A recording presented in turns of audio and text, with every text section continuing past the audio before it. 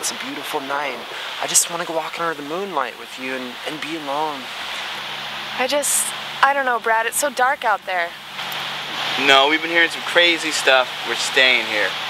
You guys just need to chill a little. It's the last night of the summer. We're here to party.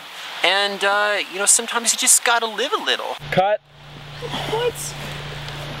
I don't know, it's just not sexy enough. Just, it's your last night alive. I just need sexy. Okay.